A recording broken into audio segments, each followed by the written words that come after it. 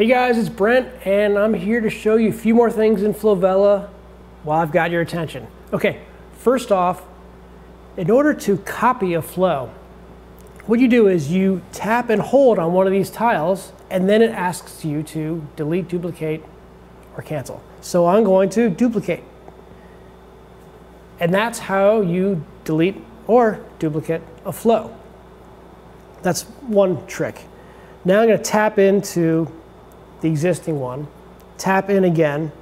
I'm to show you this other trick, which is really important and really super easy, and you're to love this one. So I tap on this uh, item, and you see there, you see these buttons all here.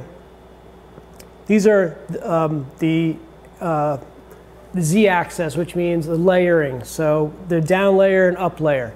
So if I go down a layer, it's going underneath this yellow. Uh, if I go up a layer, it's going up. But if you hold down on that, you have a couple options. You can make it full screen, or you can send it all the way to the back. We're gonna make this full screen, and now it's full screen. And then you can just grab, I'm, with two fingers, I'm grabbing, I'm now making this video full, full screen. And now it's changed everything. So now let's get out of here, hit done. Let's hit play and see what this looks like.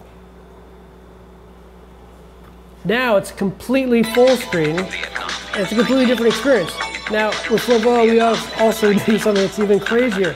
You can actually zoom in on this video while it's playing.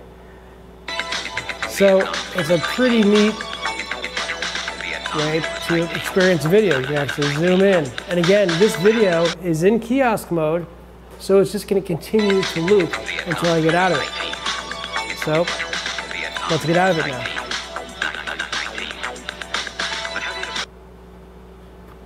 And there's, there we go, five seconds. And one, two, three, four. And we're out.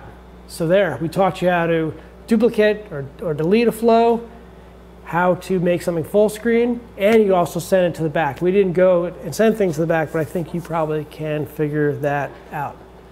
Thanks a lot. Can't wait to hear your comments and feedback, and we hope you go with the flow.